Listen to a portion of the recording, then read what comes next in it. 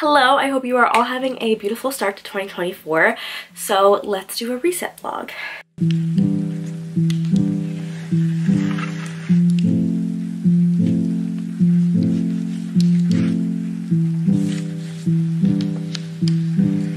I honestly, when a reset vlog started becoming popular, I literally love watching them. But I was like, I don't, oh my, okay. But I was like, I don't know if I could actually film one myself because I get very stressed out when I clean. And I'm like, the thought of setting up my camera to film myself cleaning makes me nervous. I mean, like, I love watching them.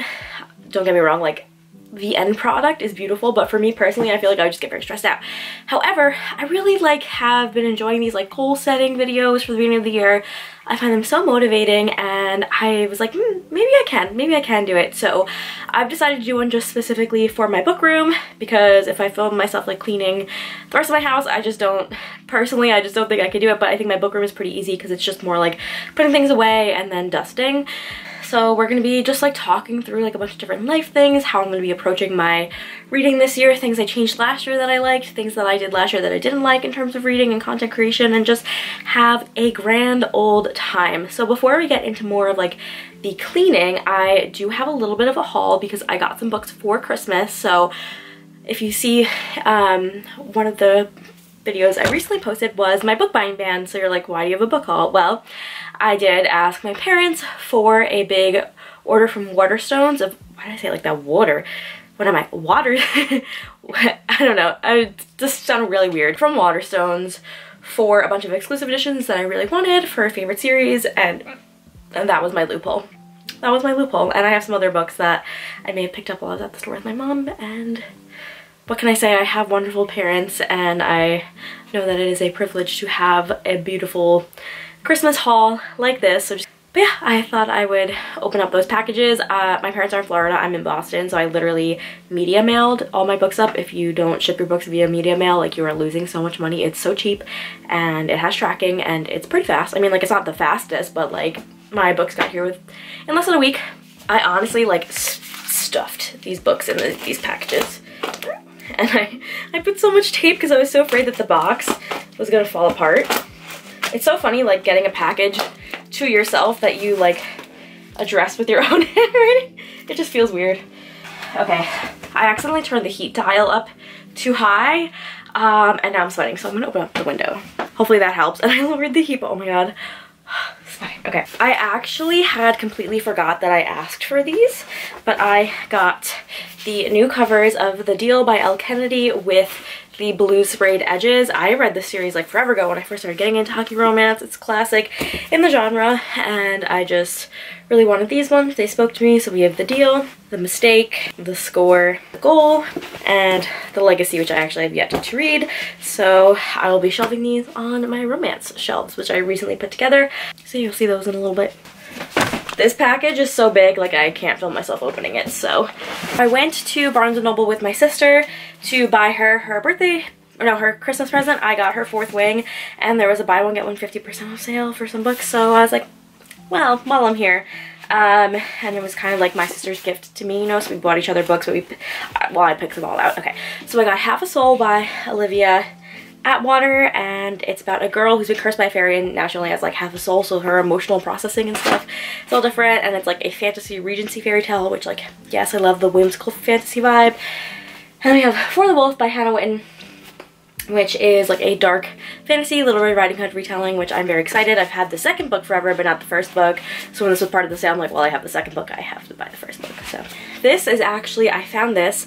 This was my favorite book as a child growing up, The Two Princesses of Bamarre by Gail Carson Levine, and this copy just means a lot for me. I actually didn't uh, dig out my copy of Ella Enchanted. I gotta find that next, but like I loved this book so much as a kid. You can see it's very like well worn and well loved and hopefully maybe I can reread it this year or I'm just like really happy to have it like with me physically. Trial of the Sun Queen.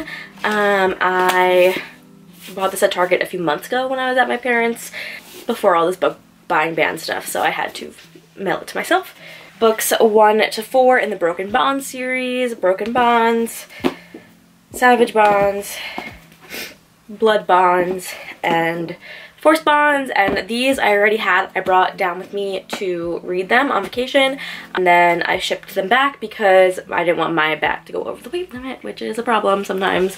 Her Radiant Curse by Elizabeth Lim, which is the prequel novel to the Six Crimson Crane series, and I got the UK copy because I love both the UK and the US covers for the series. They're different, but both equally stunning, so I had to get the UK copy. Fragile Threads of Power by V.E. Schwab. I understand that the new US cover of Fragile Threads of Power is supposed to be about color because the story relies on like something being very colorful, but I still was a little bit sad that it didn't continue with the red, white, and black theme.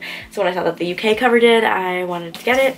So I have this. It has these really, really cool stenciled edges and then these like threads off the cover. So, oh, that's very cool. Um, so yeah, I'm very excited and I guess I'll be collecting both the US and the UK for this series. The Hurricane Wars by Thea Guanzon is a book that I already own and I had just brought it down to my parents to read, never read it, but shipped it back. Once Upon a Broken Heart, The Ballad of Never After, and A Curse for True Love. You guys know my love for this series is never ending and the UK covers are just so beautiful, so I had to get them, especially because they are like hardcovers in the UK are limited time, so I really needed to get them in case they went out of print. And then last but not least, I have a Foxglove by Adalyn Grace in the UK cover. Um, is this the first printing with the foil? It is beautiful. So I, again, this is one where the US and the UK covers are very different, but I love them both. So I got um, Belladonna in both US and UK. So obviously I had to get the UK cover of Foxglove. Those are all of the books. So the situation that we are dealing with now in my book room that I'm going to start cleaning is just putting things away. So I have a lot of K-pop stuff up and around. So I used to be a very avid K-pop collector and then within the past year just having to tighten my budget, I really just like stopped collecting. I still am an avid K-pop listener, but I stopped collecting and then I realized that it actually was just a big financial strain on me and I just couldn't keep up with it anymore, especially as K-pop just became like it just became harder to collect the albums because they kept just like pushing out like 10 versions of every release and it just got to be too much for me.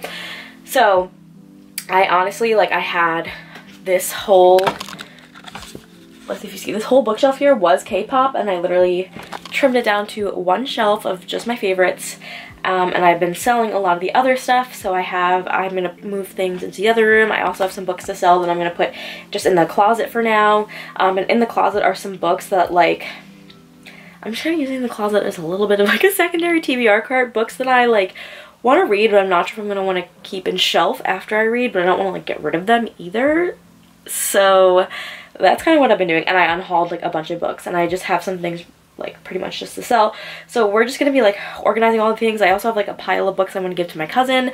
So I'm gonna be just finding other homes for them like aren't in my book room to just try and keep like my own personal like little room very happy and then we have like a spare bedroom that we're not really like using for anything that we will eventually turn into a guest room and we are able to like buy we want to buy like a king size mattress for ourselves and then we'll put the queen in there and then we'll have like a fully done up guest room but right now it's not in that state but you know that's also one of my goals for 2024 is like really just trying to like decorate my house more but we'll get more into that later after some cleaning Alright, so the first order of business here is to just clear out all of the non-book things that are on the floor when I am cleaning. I find it very useful to talk myself through the, all the steps, so I'll be moving all the K-pop stuff into the other room to organize at a later date that is not on camera.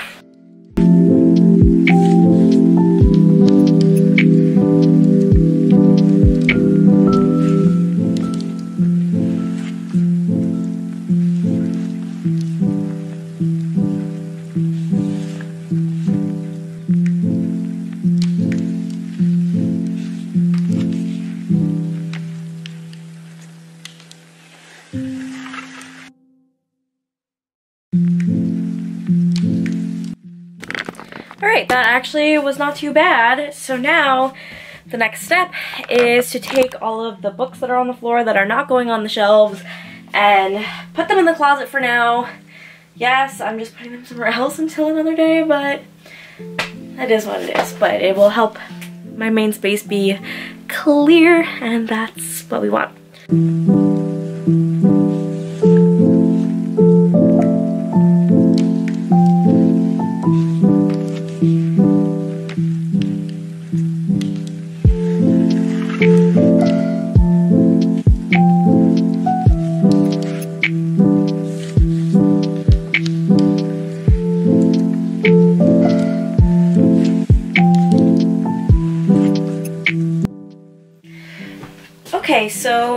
Everything that needs to be put away is off the floor, which is great. So now I just need to put away all of the books that I got and figure out where they are gonna go. And then we will get to dusting.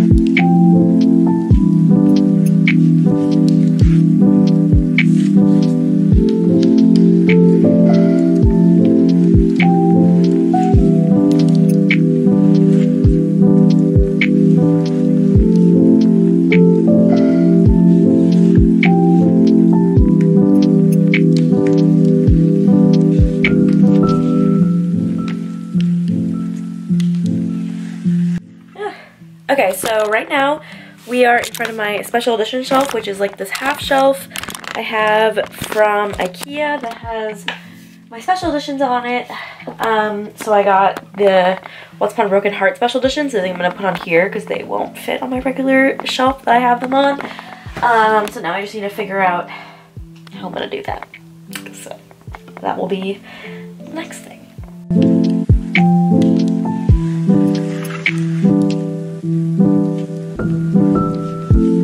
Took these books off because they are non-special editions that I just threw on the shelf randomly one day. Um, so they're gonna go on my regular shelf.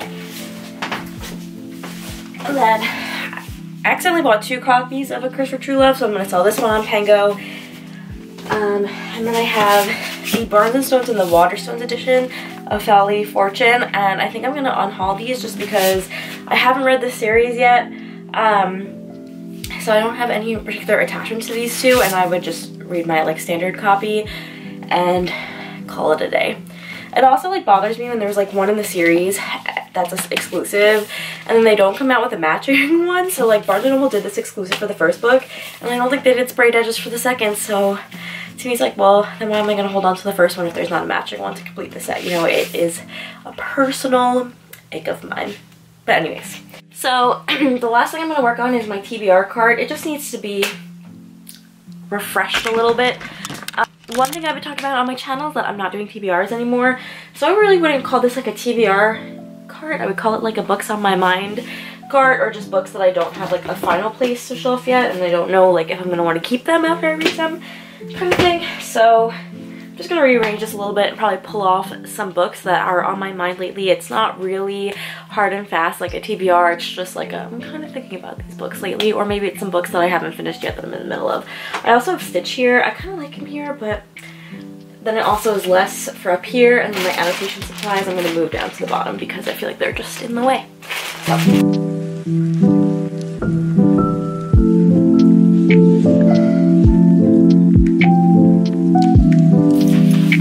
Literally every winter I say that I'm to read this when it's snowing because it's such a perfect wintry fantasy and I'm honestly craving like a intricate like adult fantasy at the moment. That's really what I'm reaching for so she's going on the cart and hopefully I'll start this one tomorrow when it starts snowing.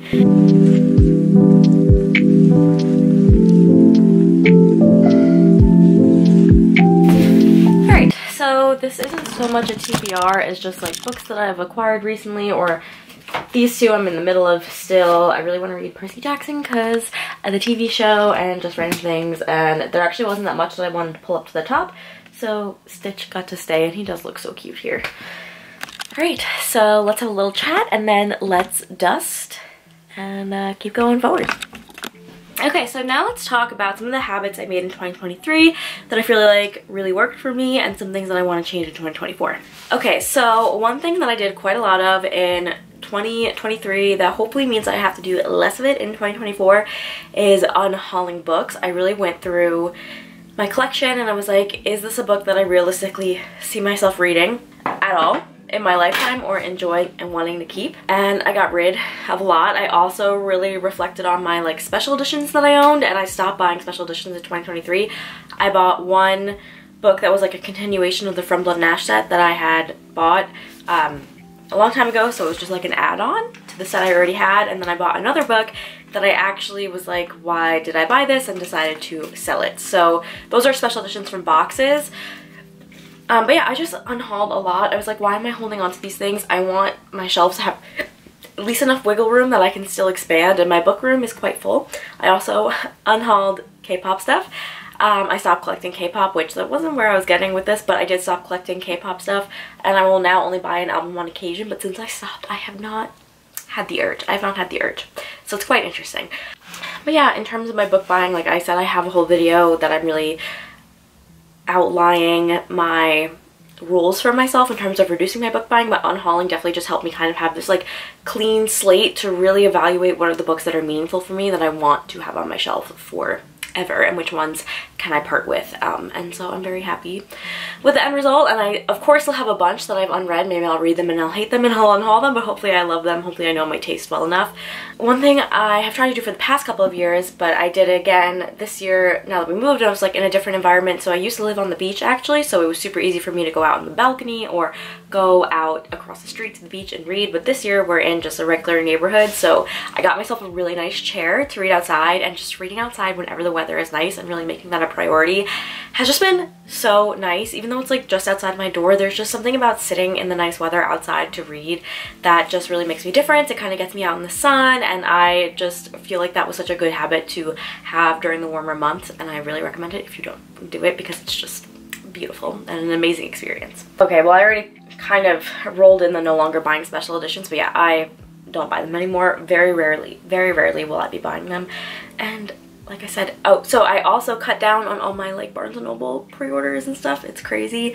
Um, I just was really thinking like, do I really need this? Do I really need to spend the money on it? And trying to like have a very strict like one book per pay period. And since I enacted that, there are actually some pay periods that I haven't even bought one book. Crazy.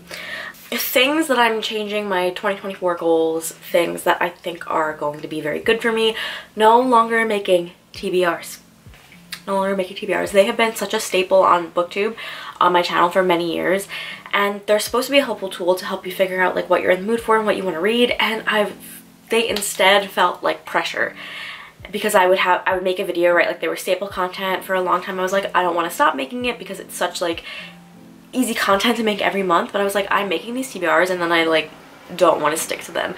And it's just putting a lot of pressure on yourself so I was like I'm just gonna stop. I'm just gonna stop so along with that, that obviously then is like one video a month that is a staple on my channel. So clearly that's like less content. But then I also thought, and I've really had this like big revelation in terms of content creation as well to like where I don't want to stick to a schedule anymore to try and chase some algorithm and be pressured to post at a certain cadence and like I understand for you guys that um, support my channel maybe that sucks for you, I'm sorry.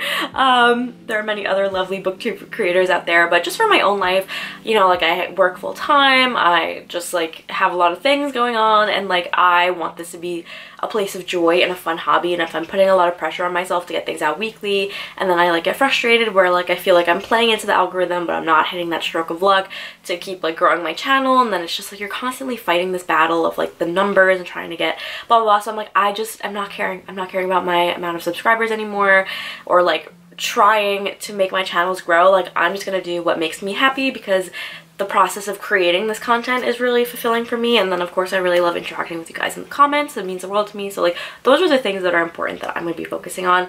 Um, but yeah now that I kind of have taken that pressure off of myself of course I have a bunch of ideas but it's really just like so nice to feel like if I don't want to post I don't have to.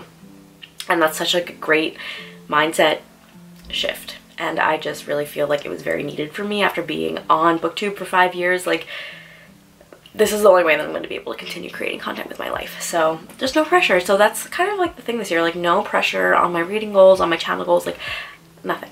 The goal is to not be stressed out, low stress, no pressure, and just have fun. Another thing that I want to be doing is utilizing my library and Kindle a lot more. I have a Kindle Unlimited subscription that I use quite often and I just think that there are some books that I want to try that I don't necessarily know will be a favorite, but I still want to read them, you know? And like I shouldn't be spending money on those, I should be getting them from the library, especially if it's like I want to read them physically. I should just be getting it from the library. So I need to actually like go in person to the library and get physical books sometimes. Um, I also want to read out my physical TBR. I feel like that is a goal every year, but I'm gonna actually try and tackle it this year and one way that I'm gonna do that is I have a Google document with a list of all of my unread books in my book room. It's about like 160 books. I don't think I can read all of them in a year, but I can make progress. And um, Another thing is I really want to try, since I'm being so conscientious about book buying, I really want to be trying to read any book that I buy very soon after purchasing. So like I think I'm giving myself three months before it becomes like a physical TBR book where it's a book that I bought and I read it right away. Within that time frame, I think three months is a long enough time that I won't like add to the physical TBR so it's like a little bit different. But yeah, I just really want to get back into the mode of like not buying books to have them sit on my shelf forever but buying a book because I genuinely want to read it in that moment and then reading it pretty soon after purchase. One thing that was just really weird to me in 2023 was I it was a year where I felt very lost on my bookish social media and with my reading. Like in terms of the social media, I think kind of like what I had talked about before where I honestly think I was just experiencing burnout by trying to stick to a schedule and comparing myself to other people and just it was just like a never-ending cycle and hopefully with this new mindset shift that I've had I can break myself out of that cycle and just start having genuine fun again. Um, but the other component of that is my reading. And something I noticed is that I haven't really been reading as much like adult high fantasy and YA high fantasy as I used to because I'm reading a lot like on my Kindle, like romance novels, fantasy romance, like smutty fantasy romance, fun, um, kind of veering more towards those books that are like fast reads on my Kindle and I don't know if that was because of like a physical like reading goal because last year I did set my Goodreads goal at 50 and then I only increase it once I like far surpass that. So yeah, so like I obviously have been kind of wanting to change that but I like it was just really weird where I would kind of go all or nothing on a genre where I'm like I'm gonna read like every fantasy ever and then be like, I'm not reading those other genres anymore. Not just because I was in the mood for something else and then like my mood would shift and then I would feel bad if I didn't read like 10 million fantasy books in a row. Row. It's kind of weird to explain, but I was like kept being like, oh, I like need to read this kind of book and then getting disappointed when I like my mood switched to something else. Um, but I still do think I want to read more of my physical TBR, more of my like high fantasy, a longer, chunkier books and setting a low and attainable reading goal is one way to do that because then I don't shy away from books because of the like length of them because I feel like they're not gonna like add to the reading goal. Like reading goals no more. It's very arbitrarily set at 50 because that's very easily accomplished for me because I still you know, want to participate in the Goodreads challenge. But anyways so I don't know, I just got in this thing where I'm like, I'm gonna read like 500 YA books or 500 fantasy books from here on out. Like, I'm only gonna be reading high fantasy, and I just like didn't give myself room for all of the other genres that I love. And in 2023, like, I discovered I have a burning passion for alien romance.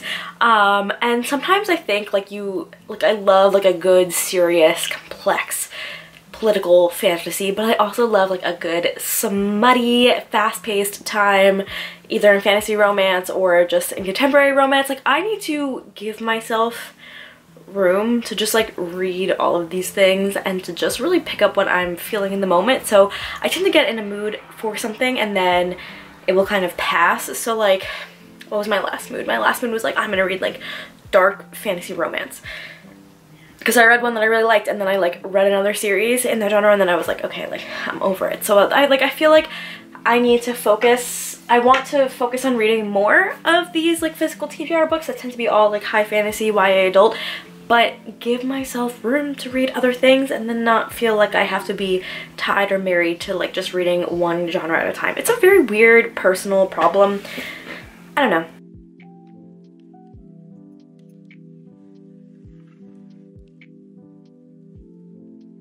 Know, we're at a new year and I feel very refreshed and I feel like I'm just gonna give myself permission to just really do everything.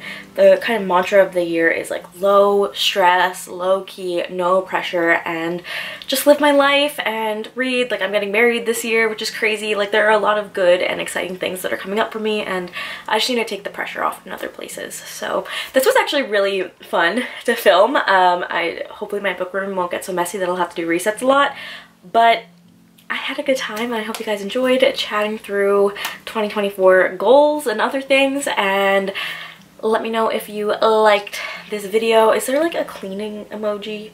Is there a broom or something like that? I don't know. Maybe the bubbles for like soap? Okay, leave like the bubble emoji if you watch this far and have some fun reading books and I'll catch you guys in the next one.